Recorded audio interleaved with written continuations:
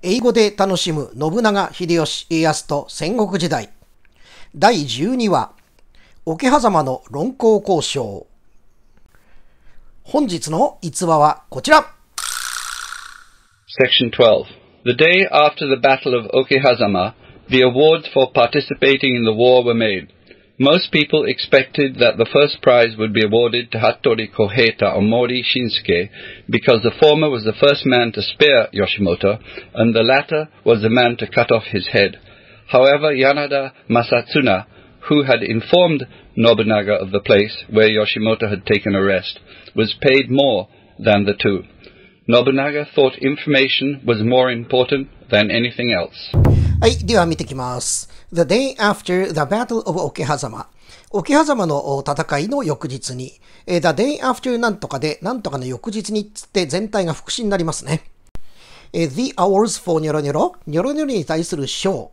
participate in なんとかで、なんとかに参加する。したがって、The War が戦。その戦ってことは今の桶狭間の戦いに参加したことに対する賞が、はい、were made で与えられた。賞を与えるって時ね、make ours っていう言い方をしますね。え、よくあの単語を勉強するときにですね、単語だけをして覚えてる人が多いと思いますけれども、え、でも実際にはね、例えば ours をただ賞と覚えてもね、えー、make ours で賞を与えるという、こういうのをコロケーション、えー、語と語の組み合わせっていうんですけどね、コロケーションまでね、覚えないと実践上であまり役に立たないんですよね。まあ、できればそういうところまでね、えー、考えながら単語の勉強をしていただいたらいかがでしょうか。えー、続きまして、most people expected、えー、大方の予想はざっと以下だった。で、expect that 説ときて、the first prize、一等賞。まあ、ここは戦ですから、一番手柄なんつってもね、いいかも。で、would be awarded to。今度のアウォードは動詞です。で、一般に be awarded to 誰々で、誰々に与えられる。えー、服部小平太ないしは毛利晋介に、ね、一等賞一番手柄が与えられるものと予想していたというわけですね。えー、このウドがですね、またしても実勢の1というやつです。えー、ここ expected が過去形ですから、それに合わせてここのウドも過去形にしたってわけですね。じゃあなんでね、この服部小平太、ないしは毛利新介の二人かっていうと、はい、 because の中、the former、前者という意味です。えー、前者ってことは前の文章において、えー、二人いましたよね。服部と毛利ね。そのうちの前者ですから、こっちの服部小平太の方です。したがって、the former、前者すなわち服部小平太は、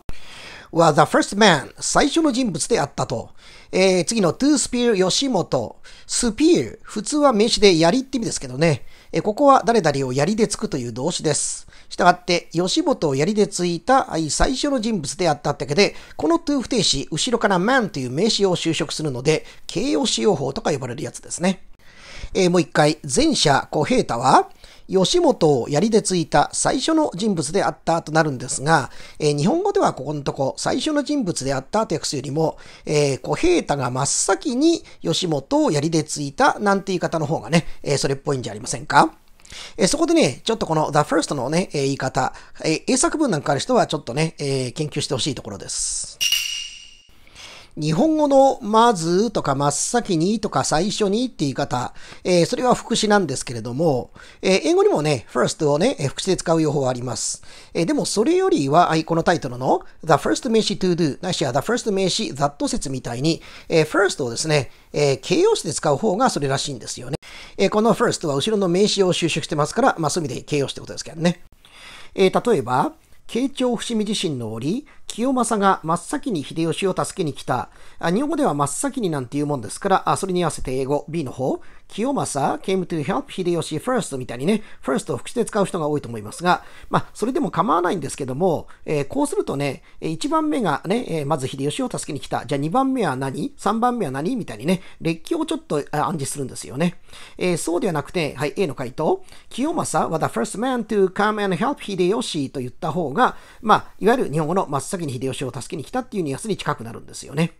この man を省略すれば the first 自体が名詞になります。もう一つ例文いきまして、上洛後、信長が義明にまず頼んだことは、堺に野戦を課す許しであった。えー、この時のまずもですよ。The first thing 信長 asked 義明。この信長と thing の間に関係試しの省略ですけどね。それで、信長が義明に、えー、to let him do、えー、自分にやらせてもらうように頼んだ最初のこと。こういう言い方の方がね、えー、それらしいんですね。after he came up to 京都上洛後に。そうすると主語はちょっと長くなりますけど、the first thing の文章はね、主語長くなっても構いません。はい、わずか全体の動詞で、それは to raise, raise が調達するね。The war funds, まあ、いわゆる軍資金ですけど、まあ、歴史用語で言う、えー、この野戦ですね。誰から ?The townsman of 堺。堺のこれ、町州、いわゆるエゴ州という連中ね。えー、従ってもう一回、直訳は信長が義明に、えー、京都に行った後に自分にさせてくださいとお願いした最初のことは、エゴ州からね、野戦を徴収することであったとなるけど、でもやっぱ前半とこさ、信長が義明に真っ先に頼んだなんて言った方がね、それっぽいですよね。まあそういう意味で、この The First Thing なんていうのもね、一つのパターンとして、押さえておきたいと思います。えー、というわけでもう一回、えー、ここのところ、えー、前者、すなわち小平太は、えー、吉本を槍でついた最初の男、意訳して、真っ先に吉本に、え、槍でついた、あるいは吉本に一番槍をついた男、なんつってもいいかもしれませんね。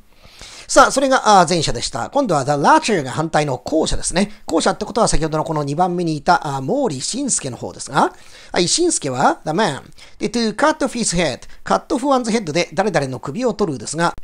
えー、この不定詞がまた後ろから man を修飾する形容詞用法ですから、吉本の、ね、首を上げた、ね、男だったのであるとなりますね。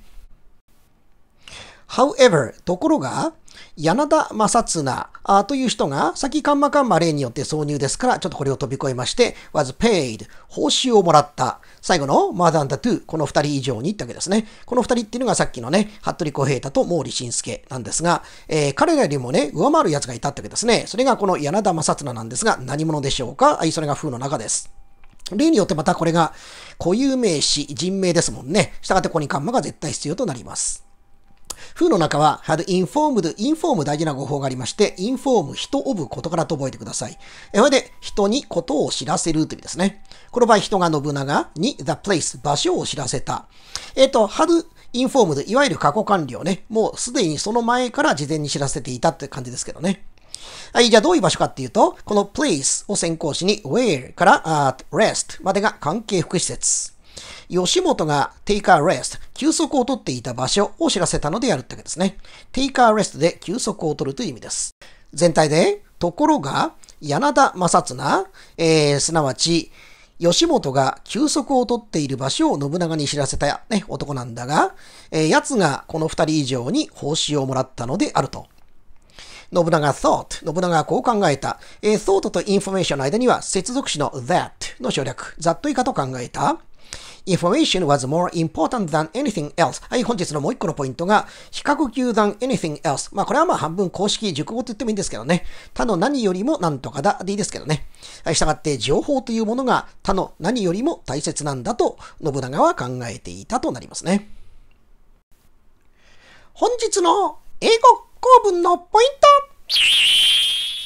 比較級 than anything else 他の何事よりもニョロニョロぐらいかな。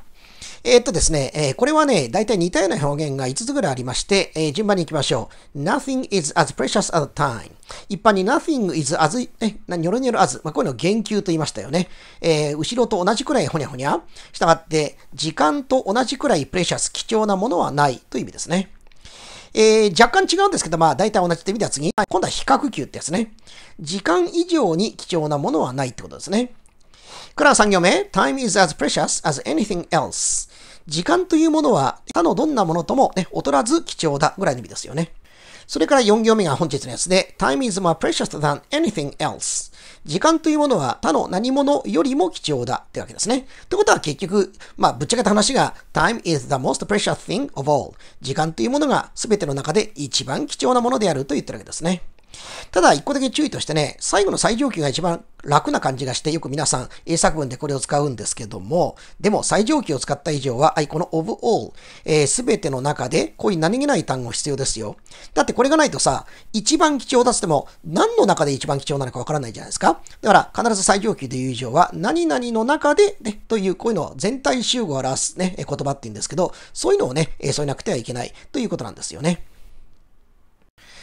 えー、それからついでながら、あ先ほどのね、言い方、あの、姉妹版と言われるのが、このパターン。非角球団 any other 名詞。さっきの anything else のとこね、えー、thing じゃなくて普通の名詞が来るときは、えー、else の部分が other に変わって any other 名詞って言うんですよね。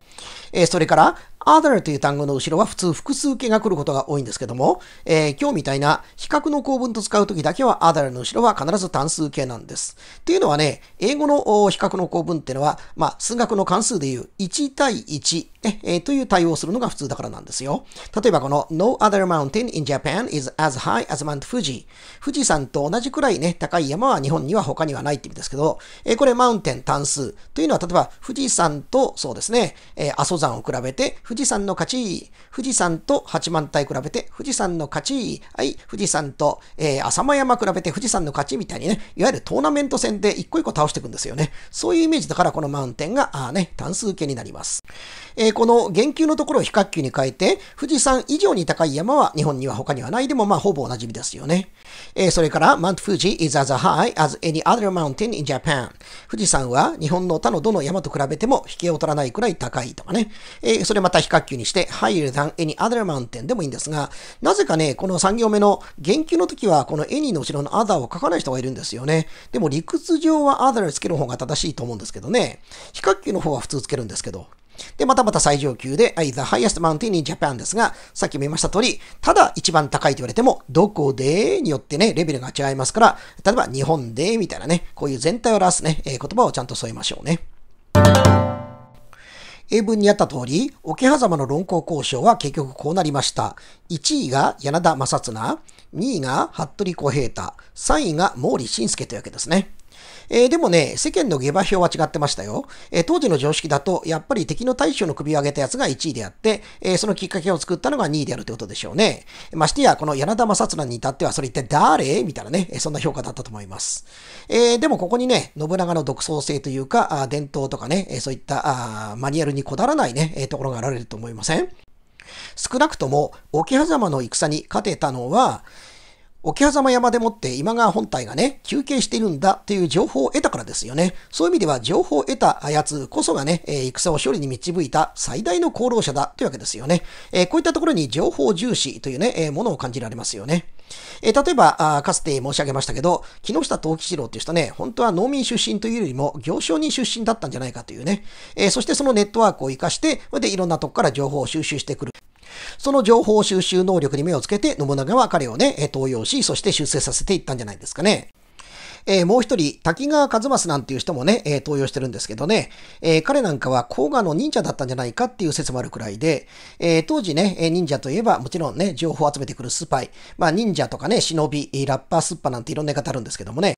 え後に徳川家康は伊賀忍者っていうのをね、登用させます。えそして、えその徳川を散々ね、手こざらせた真田正幸なんかは甲賀忍者をね、え採用しますよね。だからある意味徳川対ね、真田の対立ってのは、伊賀忍者対甲賀忍者の戦いだっていう見方もあるんですけどね。えー、北条氏は風魔一族なんかを使っていましたし、から武田信玄の場合はね、えー、のろしっていうのをね、各地に必ず配置して、それで何かあったらすぐね、えー、中央に一刻でも早く知らせるようなね、そういう情報ネットワークっていうのをね、築いていた。戦国時代はこの情報ネットワーク、えー、これをね、えー、一番最初にね、活用したものが勝ちだっていうところがあったんでしょうね。えそれから、戦の手柄っていうのはですよ、え何もね、え槍がうまいとか、腕っぷしが強いとかっていうね、えことばっかりではなく、えこの柳田正綱のようにですね、情報収集能力が長けているっていうだけでも、十分ですね、え恩賞はもらえるんだってことを世に示したとも言えましょうね。木下藤吉郎、後の秀吉が出征していくのも、え、信長のそうした方針にね、え、よるものであったでしょうし、から逆に秀吉の側から見てもですよ、え、当時の家柄とか伝統ばかりが重視されるような世の中で、自分のようなものが出世するためには、やはり織田株式会社に入社しなくてはいけないというふうにね、考えたんでしょうね。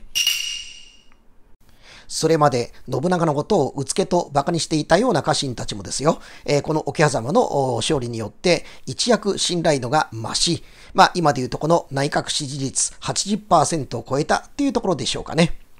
では皆さん、アテブレーベ、オブリガード。